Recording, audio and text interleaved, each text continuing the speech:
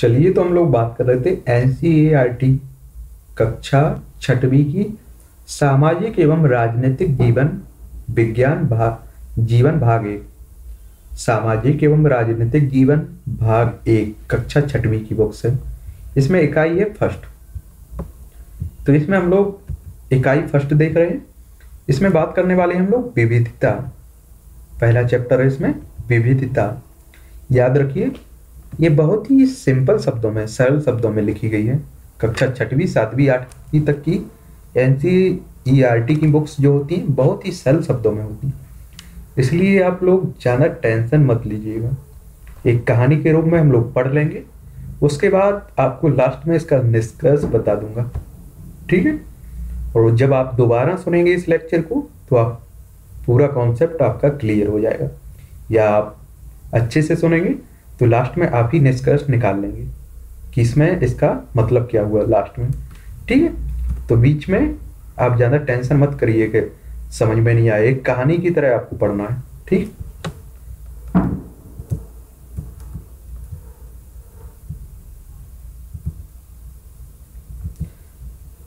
अध्याय एक है इसमें, विविधता की समझ। अपनी कक्षा में चारों तरफ़ नज़र दौड़ाइए, क्या कोई ऐसे ऐसी साथी है जो बिल्कुल आपकी तरह दिखती है।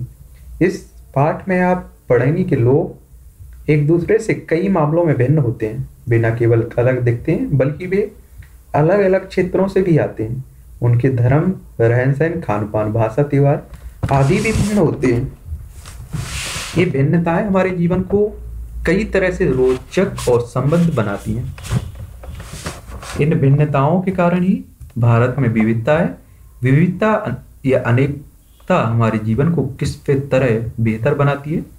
भारतीय इतनी विविधताएँ भारत में। भारत भारत आपका विविधताओं वाला देश है। क्या सभी तरह की विविधताएँ, भिन्नताएँ विविधता का ही भाग है? चलिए कुछ उत्तर पाने के लिए कोशिश करते हैं, ठीक तो ये आपकी उम्र के तीन बच्चों ने ऊपर दिए गए चित्र बनाए हैं। ये तीनों ठीक है?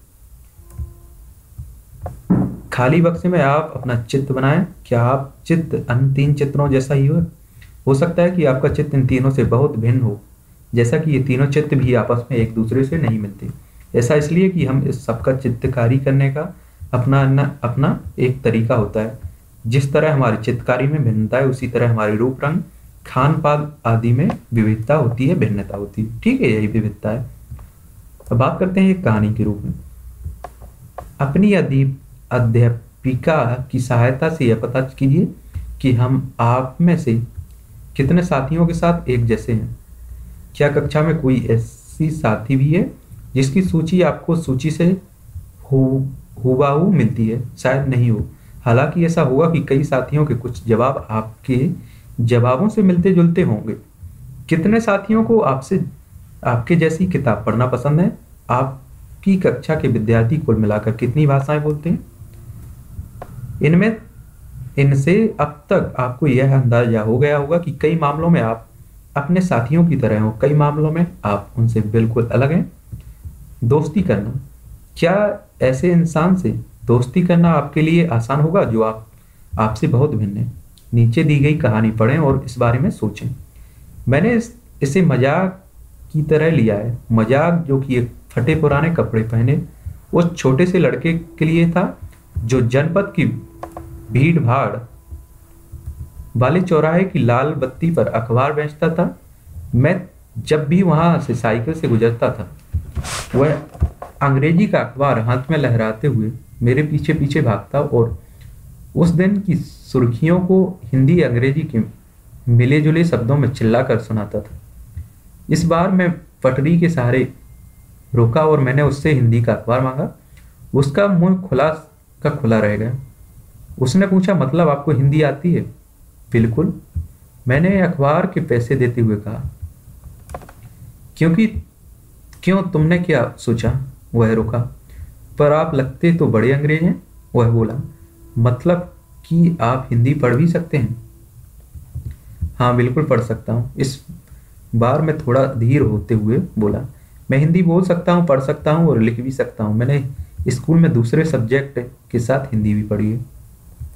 सब्जेक्ट उसने पूछा अब जो कभी स्कूल नहीं गया उसको मैं क्या समझाता कि सब्जेक्ट क्या होता है?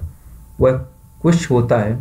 मैंने शुरू किया ही था कि वह बत्ती हरी वह बत्ती हरी हो गई और मे, मेरे पीछे गाड़ियों के हॉर्न का शोर शोर सौ गुना बढ़ गया। मैंने भी अपने आप को टैपिक के साथ आगे बढ़ने दिया। अगले दिन वह फिर वहाँ पर था। वह मुस्करा रहा था। मेरी तरफ़ हिंदी का अखबार बढ़ाने हुए उसने कहा, भैया, आपका अखबार। अब बताइए सब्जेक्ट क्या चीज़ है?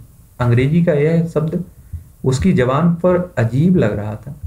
ऐसा लगा, मानो अंग्रेज़ी में सब्जेक्ट शब्द का दूसरा अर्थ है। प्रजा उस अर्थ में वह उसका प्रयोग कर रहा था। वो यह कुछ पढ़ाई लिखाई से संबंधित है, मैंने कहा।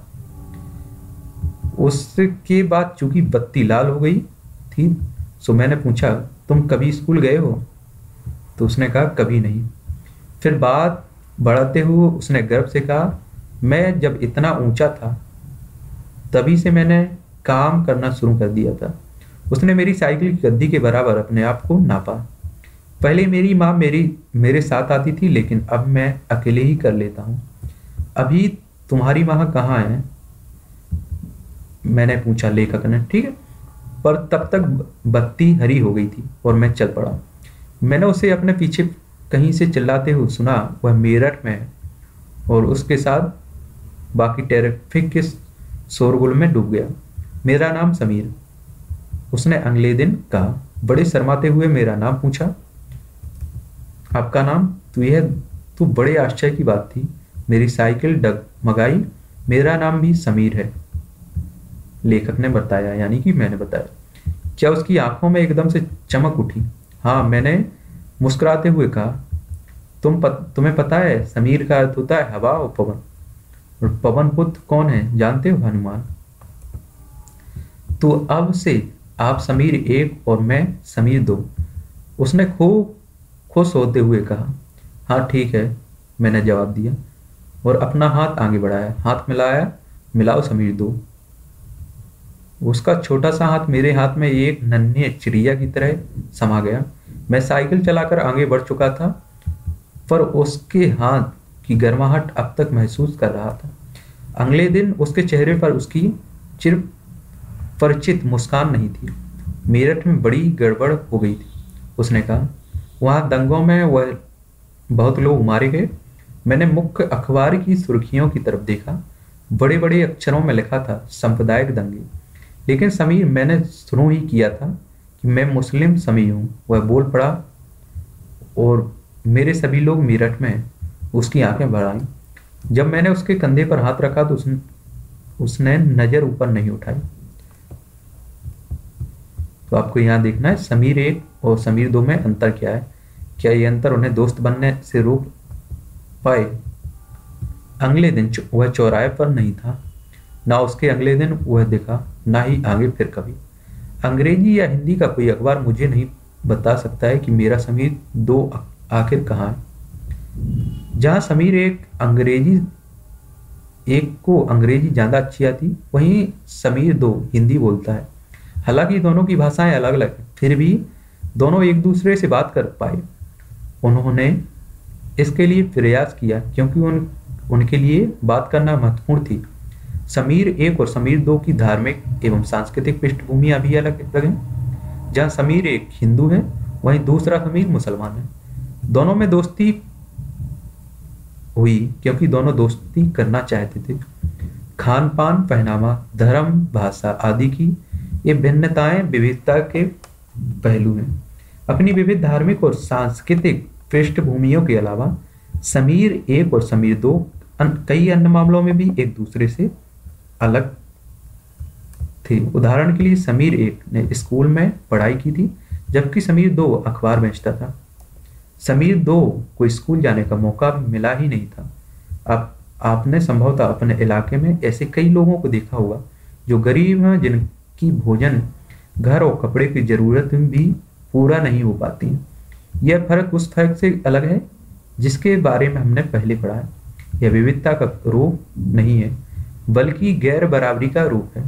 गैर बराबरी का मतलब है कि कुछ लोगों के पास ना अवसर हैं और ना ही ज़मीन या पैसे, जैसे संसाधन दूसरों के पास हैं। इसलिए गरीबी और अमीरी विविधता का रूप नहीं है। यह लोगों के बीच मौजूद असमानता यानी गैर बराबरी है। जाति व्यवस्था असमानता का एक और उदाहरण है। इस व्यवस्था में समाज को अलग अलग समूहों में बांटा गया है। इस बंटवारे का आधार था कि लोग किस किस तरह का काम करते हैं। लोग जिस जाति में पैदा होते हैं, उसे बदल नहीं सकते। उदाहरण के लिए, अगर आप कुम्हार के घर में पैदा हुए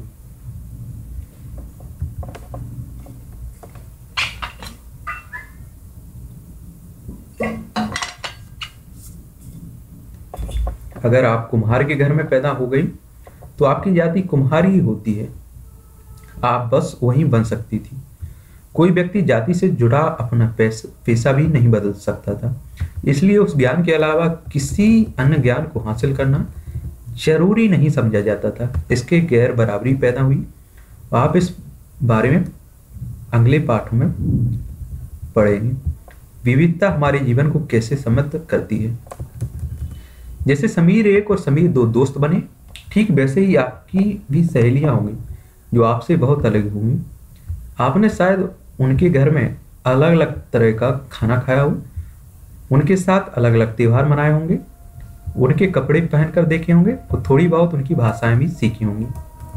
आपने शायद तरह तरह के जानवर, रानियों साहसिक घटनाओं या भूतों की कहानियाँ पसंद होंगी। संभव है कि आपको खुद कहानी बनाना भी पसंद होगा। एक अच्छी कहानी पढ़ने से हमेशा खुशी मिलती है। उसको पढ़कर और ज़्यादा कहानियाँ बनाने के लिए नए नए विचार मिलते हैं। जो लोग कहानियाँ लिखते हैं, वे विभिन्न स्त्रोतों किताबों, वास्तविक जीवन और कल्पना से प्रेरणा लेते हैं।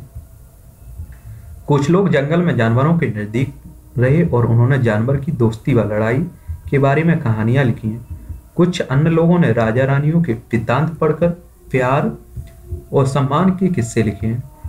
कुछ ने अपना बचपन की यादों को गोते लगाए, स्कूल और दोस्ती की मधुर यादों से निकालकर कुछ साहस कहा, कहानियाँ लिखी। कल्पना कीजिए कि, कल्पना कीजिए कि जिनकी कहानियाँ आपने सुना है या पढ़ी हैं, उन सभी कहानीकारों या कहानी सुनाने वालों को ऐसी जगह पर रखना, रहना पड़ जा, पड़े जहाँ लोग केवल दो या, ही रंग के कपड़े पहनते हैं, लाल, सफ़ेद, एक तरह का खाना खाते हैं, शायद आलू। समान रूप से केवल दो पशु पक्षी को पालते हैं। उदाहरण के लिए हिरन और कोवा। और केवल सांप, सीढ़ी खेल खेल से अपना मनोरंजन करते हैं। ऐसी जगह रहकर वे कैसी कहानियाँ लिख पाएँगे? भारत में विविधता। भारत में विविधता का देश है। हम विभिन्न भाषाएँ बोलते हैं। विभिन्न प्रकार का खाना खाते हैं। अलग अलग त्यौहार मनाते हैं। और भिन्न भिन्न धर्मों का पालन करते हैं। लेकिन गहराई से सोचें तो वास्तव में हम एक ही तरह की चीज़ें करते हैं, केवल हमारे करने के तरीके अलग अलग हैं। हमें विविधता को कैसे समझें? हम विविधता को कैसे समझें? करीब दो सवा दो सौ वर्ष पहले जब रेल, हवाई जहाज़, बस और कार हमारे जीवन का हिस्सा नहीं थे, तब भी लोग संसार के एक भाग से दूसरे भाग की यात्रा करते थे। वे पानी के जहाज़ में घोड़ों या ऊँटों पर बैठकर जाते या फिर पैदल चलकर जाते थे। अक्सर ये यात्राएँ खेती और बसने के लिए नई ज़मीन की तलाश में या फिर व्यापार के लिए की जाती थी। चूँकि यात्रा में बहुत समय लगा, लगता था, इसलिए लोग नई जगह पर अक्सर काफ़ी लंबे समय तक ठहर जाते थे। इसके अलावा सूखे और अकाल के कारण भी कई बार लोग अपना घर बार छोड़कर देते थे। उन्हें जब पेट भर खाना तक नहीं मिलता था तो वे नई जगह जाकर बस जाते थे। कुछ लोग काम की तलाश में और कुछ युद्ध के कारण घर छोड़ देते थे। लोग जब नई जगह बसना शुरू करते थे तो उनके रहन सहन में थोड़ा बदलाव आ जाता था। कुछ चीज़ें वे चीज़ें वे नई जगह की अपना लेते थे। कुछ चीज़ों में वे पुराने ढर्रे पर ही रह, चलते रहते थे। इस तरह उनकी भाषा, भोजन, संगीत, धर्म आदि में नए पुराने का मिश्रण होता रहता था। उनकी संस्कृति और नई जगह की संस्कृति में आदान प्रदान होता और धीरे धीरे एक मिश्रित यानी मिली जुली संस्कृति उभरती थी। अलग अलग क्षेत्रों का इतिहास देखें तो हमें पता चलता है कि किस तरह विभिन्न सांस्कृतिक प्रभावों ने वहाँ के जीवन और संस्कृति को आकार देने में योगदान किया है। इसी, इस तरह से कई क्षेत्र अपने विशिष्ट इतिहास के कारण विविधता संपन्न हो जाते थे। ठीक इसी प्रकार लोग अलग अलग तरह की भौगोलिक स्थितियों से स्थितियों से किस प्रकार सामंजस्य बैठाते हैं। उससे भी विविधता उत्पन्न होती है। उदाहरण के लिए समुद्र के पास, रहने में और पहाड़ी इलाके में रहने में बड़ा फ़र्क है। न केवल वहाँ के लोगों के कपड़ों और खान पान की आदतों में फ़र्क होगा, बल्कि जिस तरह का काम वे करेंगे, वे भी अलग होंगे। शहरों में अक्सर लोग यह भूल जाते हैं कि उनका जीवन उनके भौतिक वातावरण से किस तरह गहराई से जुड़ा हुआ है। ऐसा इसलिए कि शहरों में लोग वेले ही अपनी सब्ज़ी या अनाज उगाते हैं। वे इन चीज़ों के लिए बाज़ार पर भी पर ही निर्भर रहते हैं। आइए भारत के दो भागों, लद्दाख और केरल के उदाहरण के ज़रिए यह समझने की कोशिश करें कि किसी क्षेत्र की विविधता पर उसके ऐतिहासिक और भौगोलिक कारकों का क्या असर पड़ता है। लद्दाख ऊँचे पहाड़ों वाले रेगिस्तानी इलाके हैं। ठीक है? लद्दाख, जम्मू कश्मीर के पूर्वी हिस्से में पहाड़ियों में बसा एक रेगिस्तानी इलाका है। यहाँ पर बहुत ही कम खेती संभव है, क्योंकि इस क्षेत्र में बारिश बिल्कुल नहीं होती है। और यह इलाका हर वर्ष काफ़ी लंबे समय तक बर्फ़ से ढका रहता है। इस क्षेत्र में बहुत ही कम पेड़ उग पाते हैं। पीने के पानी के लिए लोग गर्मी के महीनों में पिघलन वाली बर्फ़ पर निर्भर रहते हैं। यहाँ के लोग एक खास किस्म की बकरी पालते हैं, जिसे पश्मीना ऊन मिलता है। यह ऊन कीमती है, इसलिए पश्मीना साल बड़ी महँगी होती है। लद्दाख के लोग बड़ी सावधानी से इस ऊन को इकट्ठा करके कश्मीर के व्यापारियों को बेच देते हैं। मुख्यतः कश्मीर में ही पश्मीना सालें बुनी जाती हैं। यहाँ के लोग दूध से बने पदार्थ जैसे मक्खन, चीज़ एवं मांस खाते हैं। हर एक परिवार के पास कुछ गाय, बकरी और याक हैं। रेगिस्तान होने का यह मतलब नहीं है कि व्यापारी यहाँ आने के लिए आकर्षित नहीं हुए। लद्दाख तो व्यापार के लिए एक अच्छा रास्ता रास्ता माना गया है, क्योंकि यहाँ कई घाटियाँ हैं, जिनसे गुजर गुजर कर मध्य एशिया के काफिले उस इलाके में पहुँचे थे, जिसे आज तिब्बत कहते हैं। ये काफिले अपने हाँ अपने साथ मसाले, कच्चा मसाले, कच्चा रेशम, दरिया आदि लेकर चलते थे। लद्दाख के रास्ते ही बौद्ध धर्म तिब्बत पहुँचा। लद्दाख को छोटा तिब्बत भी कहते हैं। करीब 400 साल पहले यहाँ पर लोगों का इस्लाम धर्म से परिचय हुआ और अब यहाँ अच्छी खासी संख्या में मुसलमान रहते हैं। लद्दाख में गानों और कविताओं का बहुत ही समृद्ध मौखिक संग्रह तिब्बत का ग्रंथ केसर सागा लद्दाख में काफ़ी पिछले थे इसके स्थानीय रूप को मुसलमान और बौद्ध दोनों में ही लोग गाते हैं, उन पर नाटक खेलते हैं। याद रखिए पश्मीना साल बुनती हुई में। अब बात करते हैं केरल। केरल भारत के दक्षिणी पश्चिमी कोने में बसा हुआ एक राज्य है।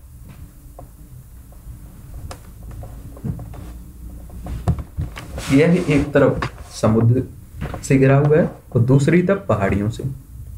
इन पहाड़ियों पर विविध प्रकार के मसाले जैसे काली मिर्च, लौंग, इलायची आदि उगाए जाते हैं। इन मसालों के कारण यह क्षेत्र व्यापारियों के लिए बहुत ही आकर्षक बना हुआ है। सबसे पहले अरबी और यहूदी व्यापारी केरल आए ऐसा माना जाता है कि ईसा मसीह के धर्मदूत संत थॉमस लगभग 2000 साल पहले यहाँ आए। भारत में ईसाई धर्म लाने का श्रेय उन्हीं को जाता है। अरब से कई व्यापारी यहाँ आकर बस गए। इब्न बतूता ने, जो करीब 700 साल पहले यहाँ आए अपने यात्रा वृतांत में मुसलमानों के जीवन का विवरण दे, देते हुए लिखा है कि मुसलमान समुदाय की यहाँ बड़ी इज़्ज़त थी। बास्को डिगामा पानी के जहाज़ से यहाँ पहुँचे जो पुर्तगालियों ने यूरोप से भारत तक समुद्री रास्ता जाना। इन सभी ऐतिहासिक प्रभावों के कारण केरल के लोग विभिन्न धर्मों का पालन करते हैं जिनमें यहूदी इस्लाम ईसाई हिंदू बौद्ध धर्म शामिल हैं चीन के व्यापारी भी केरल आए।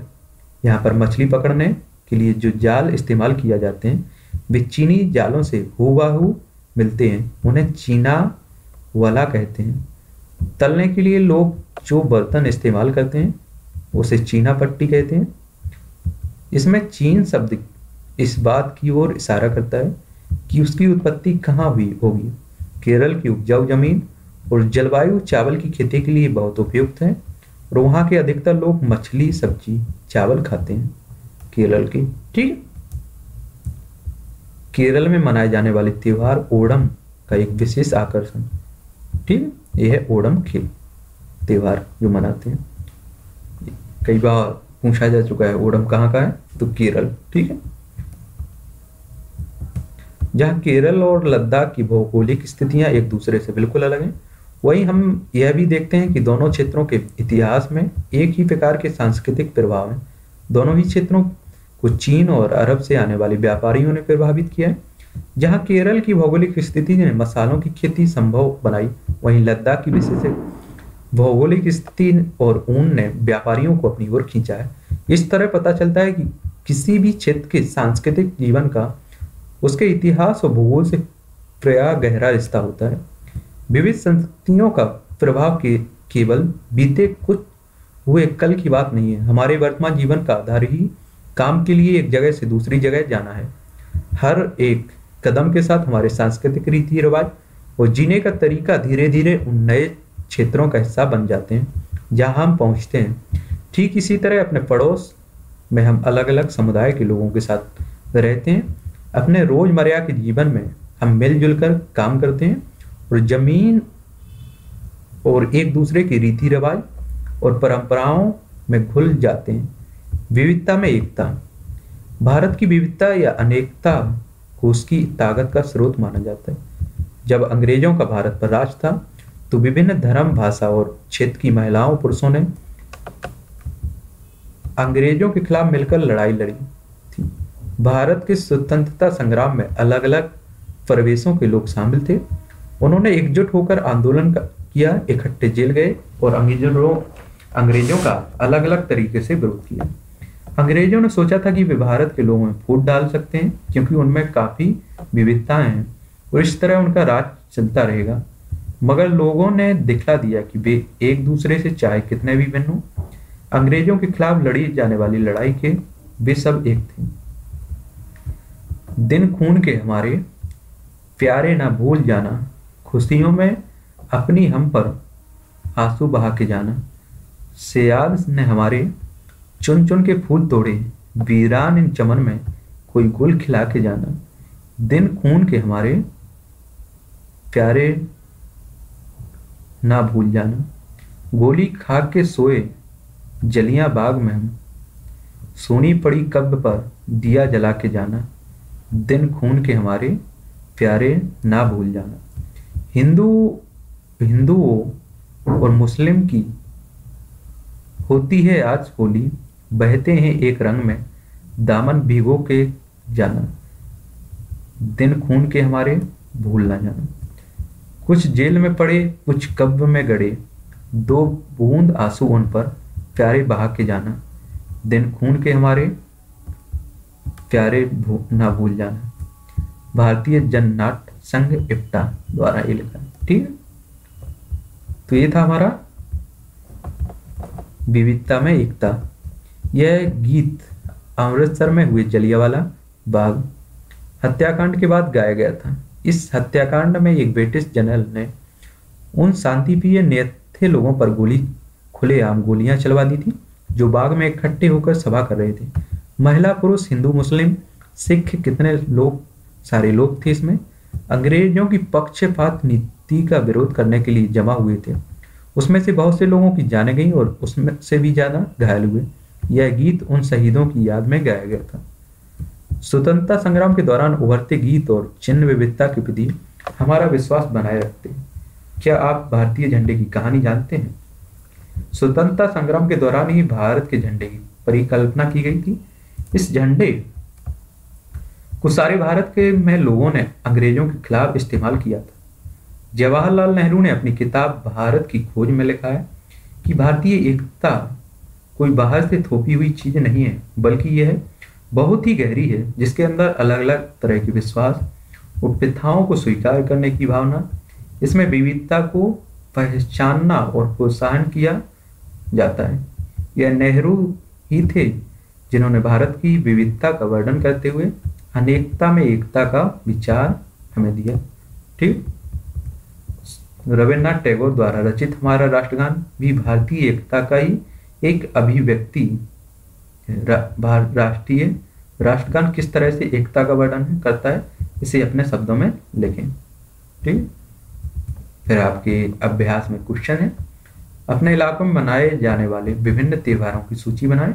इनमें से कौन कौन से त्योहार सभी समुदायों द्वारा कॉमन है मतलब अपने जो क्षेत्र है आपका उनके आपको त्यौहार लिखना है। वहाँ की कॉमन त्योहार देखना है आपको कि सभी समुदाय में जो त्यौहार मनाए जाते हैं। ठीक? आपके विचार में भारत की समृद्ध एवं विधि विविध विरासत आप, आपके जीवन को कैसे बेहतर बनाती है? आपके अनुसार अनेकता में एकता का विचार भारत के लिए कैसे उपयुक्त है? भारत की खोज किताब से लिए गए इस वाक्यांश में नेहरू भारत की एकता के बारे में क्या कहना चाहते हैं? तरह जलियावाला बाग हत्याकांड के ऊपर लिखे गए गाने को, उस पंक्ति को चुनिए, जो आपके अनुसार भारत की एकता को निश्चित रूप से झलकाती है। लद्दाख और एवं केरल की तरह भारत का कोई एक क्षेत्र चुनिए। अध्ययन कीजिए कि कैसे उस क्षेत्र की विविधता को ऐतिहासिक और भौगोलिक कारकों से ने प्रभावित किया है। क्या ऐतिहासिक, भौगोलिक कारक आपस में जुड़े हैं? कैसे? ठीक? ये थी हमारी विविधता। तो पता है आपको, इस पूरे चैप्टर का निष्कर्ष है विविधता। इस पूरे चैप्टर का पूरा सार है आपका कि किस तरह हमारे देश में विविधता है, फिर भी एकता है। ठीक पूरा विविधता के आसपास ही आपका चैप्टर घूमता रहा है। ठीक एक बार, दो बार सुनिए लेक्चर को, अपने आप मालूम चल जाएगा कि क्या बोल रहा है ये चैप्टर ठीक? अब अगले चैप्टर तो इसमें हम लोगों ने जान ली है विविधता की एक सिंपल साधारण शब्दों में समझ। आगे हम बात करेंगे विविधता और भेदभाव। किस प्रकार भेदभाव है? विविधता में। ठीक है?